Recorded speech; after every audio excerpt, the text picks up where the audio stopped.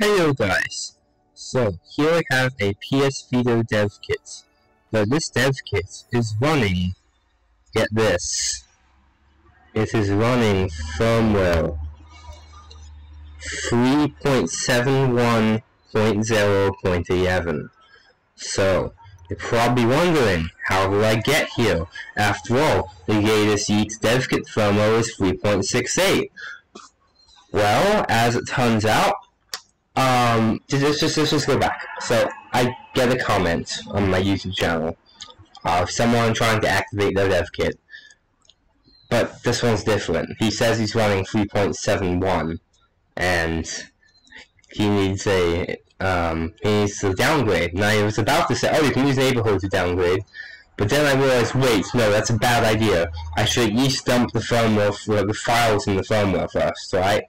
And so, that, that, so I was like, okay, no, don't don't downgrade. Just just let me let me get an expert on there to dump the files, right? And then, what I was thinking, like, I, my, I was just thinking to myself, and I realized, wait a minute. When you run an update, it copies it to UD0, right, and creates this PSP2 update file and puts the puts the update file into UD0, PSP2 update, PSP updates.pup, right? So, and I thought, okay, well, after the update completes, the update deletes the file. And I was thinking, wait, it just deletes the file, right? Like, couldn't I just, like, dump the partition raw and, like, open it in the hex editor and, like, maybe, like, see the update file still there? Well, no. As it turns out, you cannot, because the Sony updater actually overwrites the file after after it deletes it. But wait, wait a minute, it overwrites it after it deletes it? Then the subsequent writes are just going to return an SCIOE invalid error. So it just won't do anything. And sure enough, it doesn't do anything. Um, I dumped the partition off my dev kit just to see if it would work, and sure enough, the update file I used to get to 3.60 was still there. So that's pretty cool. So after I did that, after I realized that would work, I then messaged this person and said, hey, I want to get the PUP file for 3.71. Um, and here's how we're going to do it. So, um, first problem that overcome was that the dev kit was not activated. And you can't activate it without, without 3.60, right? Well, no. There's actually a very old method to activate dev kits that doesn't involve any hacks, and that is simply to open up, pop out the CP battery, the CP battery that keeps the clock running, and then put it back in, close the dev kit up, um, turn off the internet on your PC, set your PC's clock back to like 2015 or whatever, and then just like um, open neighborhood and connect the feeder, connect the dev kit to your PC, and then um, power it on. And it basically neighborhood will sync the time your PC has with your dev kit, except you can control what that time is. So you can just say, oh yeah, the time is like you know first of January 2015, and now oh wow, I'm activated. So yeah, that's a that's a thing you could do. So that's what we did. We um he actually just needed to open up the bat, open the dev kit, pop up the battery, put it back in, and then all of a sudden his dev kit was activated. He didn't need to do the extra step of paperwork for some reason.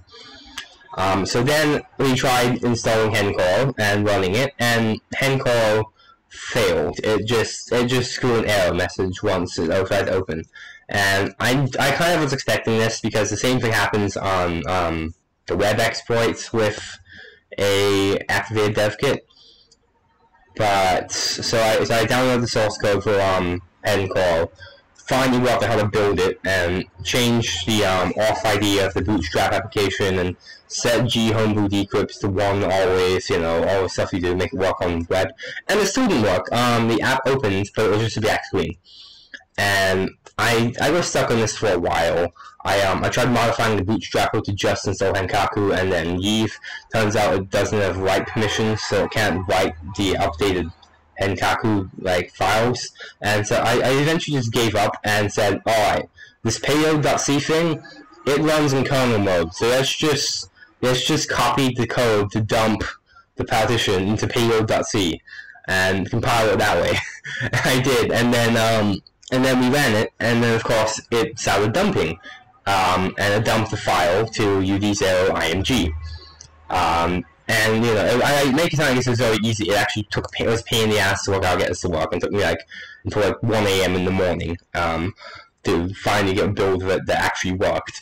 But anyway, we, we got the file, right? We got UD0IMG. So then I copied it. So then I told him, okay, put the memory card into another video that you can, um, it's already hacked, and just get the file off. Um, and so that's what he did. And of course, you got the file off because you know you just take memory card out, put it in a different video, easy, right? Um, and so then he sent me the file, and I opened in a hex editor and searched for the four most important getters in the in the world, SCEUF, and sure enough, there was an update file sitting there on the uh, partition that wasn't removed. So okay, great. Now I need to figure out how to, you know, extract this. Maybe the file's fragmented in some way. You know, I have to I have to work all that out now. Um, and so first I sent the file to um, I sent the UD0 IMG to Matthew, who has become interested in the project at this point.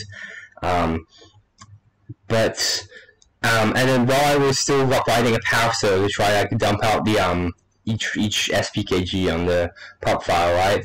Um, to see how big it is uh, Matthew sent me the extracted pub file, and I was like, oh, so he, he did it before me, I, before I had the chance. Um, but I could have done it, but he, he, he just he was just faster. So I I said, okay, well, does this update work? And I was like, well, why don't you try and install it? I'm like, oh yeah, good idea. So um, but we, there was one thing we didn't know is that it can 3.71 even downgrade back to 3.60. Um, so I got the person who had the 3.71 dev kit to try downgrade, um, and it worked. So then I was like, okay, now I'm comfortable to try and install on my dev kit because I know I'll be able to go back if it works. And it started verifying the pop, and then it got to verify stage 2, and then it started installing. And I was like, ah, the pop verified. That means it's the exact right file that was used to update his kit. So we have the exact pup that was used to install 3.71, and we can now install 3.71 on any dev kit, even if it's not hacked, you can do whatever. Um, so that's pretty cool. I'll have the link to the pup file in the description, and yeah, that's about it. Thanks for watching.